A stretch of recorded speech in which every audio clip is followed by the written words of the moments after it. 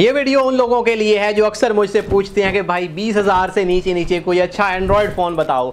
वालेकुम everyone this is Mohammad Waqas Arshad from Tech Craze YouTube channel आज के इस वीडियो में हम रेडमी की एक नई डिवाइस के बारे में बात करेंगे। यह है रेडमी ए और भाई रेडमी ए हमने कुछ ही दिन पहले अनबॉक्स किया था।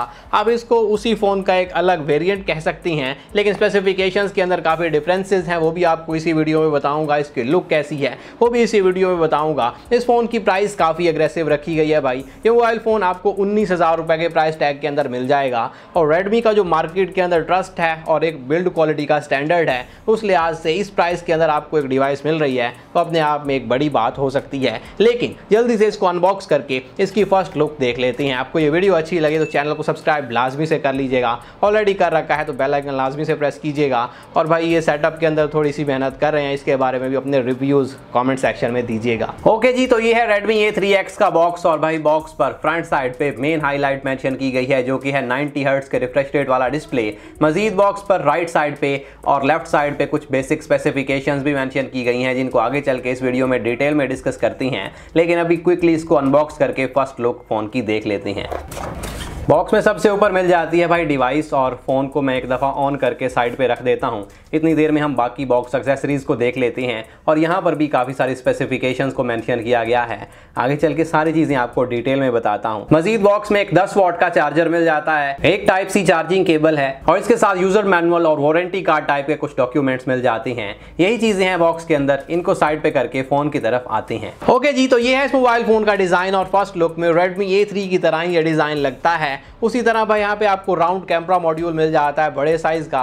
और भाई, यहाँ पे बैक साइड पे ग्लास टेक फिनिश दी गई है। शाइनी ग्लास की फिनिश है, जिसकी मदद से भाई आपको फ़ोन की बिल्ड क्वालिटी ज़रा अच्छी देखने को मिलेगी। मोबाइल फ़ोन के अंदर भाई फ़िज़िकल ओवरव्यू की बात करें तो राइट साइड पे आपको पावर बटन के अंदर ही फिंगरप्रिंट सेंसर मिल जाता है। ऊपर वॉल्यूम कीज मिल जाती हैं। और फिंगरप्रिंट की स्पीड मुझे ठीक ठाक लगी, कोई मिसिंग मुझे देखने को नहीं मिली। और यहाँ पे सैंपल आपके सामने है। ऊपर की साइड पे भाई, आपको एक हेडफोन जैक मिल जाता है और एक स्पीकर ग्रिल दी गई है। और भाई लेफ़्ट साइड पे मिल जाती है सिम ट्रे जिसके अंदर। आप दो सिम कार्ड्स और एक memory card at the same time लगा पाएँगे तो ये काफ़ी अच्छी बात है, क्योंकि भाई इसके अंदर आपको स्टोरेज एक्सपैंड करने का ऑप्शन ऑब्वियसली मिलना चाहिए। इस मोबाइल फ़ोन के अंदर भाई नीचे की साइड पे एक टाइप सी चार्जिंग पोर्ट मिल जाती है और साथ एक माइक्रोफोन मिल जाता है। बाकी भाई नो डाउट डिज़ाइन देखने में खूबसूरत है, और जब आप इस फ़ोन को होल्ड करेंगे फ़र्स्ट लुक में इसको देखेंगे, जैसा कि मैंने ए की वीडियो में बताया था, कहीं से भी ये मोबाइल फ़ोन इतना चीप प्राइस वाला फ़ोन नहीं लगता, खासतौर पर डिज़ाइन वाले सेगमेंट के अंदर। और मुझे ये डिज़ाइन वहाँ पर भी बहुत अच्छा लगा था। और ख़ास तौर पर भाई यहाँ पे ये वाइट कलर के अंदर इस मोबाइल फ़ोन का डिज़ाइन काफ़ी ज़्यादा प्रीमियम लग रहा है।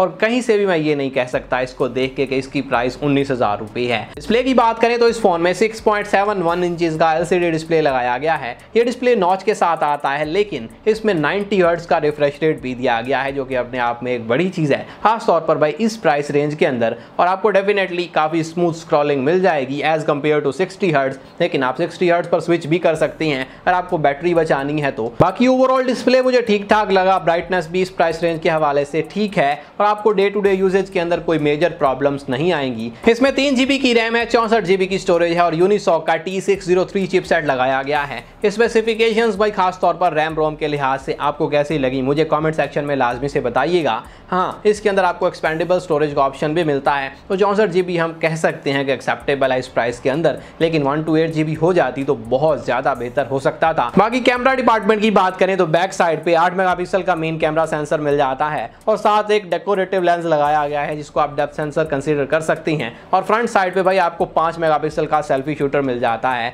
अगर पिक्चर क्वालिटी की बात करें तो यहाँ पे आप कुछ रैंडम फ़ोटोज़ देख सकते हैं, जो कि मैंने इसी फ़ोन के अंदर, यहाँ स्टूडियो इन्वायरमेंट के अंदर कैप्चर की हैं। आपको रिज़ल्ट कैसे लगे, ये भी मुझे कॉमेंट सेक्शन में लाजमी से बताइएगा। बाकी भाई इस फ़ोन के अंदर पाँच हज़ार की बैटरी लगाई गई है और साथ दस वॉट का चार्जर आपको मिल जाता है। अब ये कंप्लीट पैकेज आपको उन्नीस रुपए की प्राइस के अंदर मिलता है। इसमें मजीद एक ग्रीन कलर आता है, एक ब्लैक कलर है और एक ये व्हाइट कलर है जो कि मैंने आपको इस वीडियो में दिखाया और मुझे ये व्हाइट कलर ऑनेस्टली अच्छा लगा। खैर, इसमें ये 90 हर्ट्ज का रिफ्रेश रेट एक अच्छा ऑप्शन है। उसके साथ साथ भाई, इस मोबाइल फ़ोन के अंदर ये फिंगरप्रिंट सेंसर दिया गया है फेस अनलॉक का फीचर दिया गया है। ये कुछ चीज़ें हैं जिसकी वजह से आप इस डिवाइस को कंसिडर कर सकती हैं। हाँ आप इस डिवाइस को रिकमेंड कर सकती हैं अपने एल्डर्स को या फिर आपको अपने लिए कोई सेकेंडरी डिवाइस चाहिए तो आप इसको खरीद सकती हैं। बहुत बहुत शुक्रिया आपके वक्त का जजाकल्ला।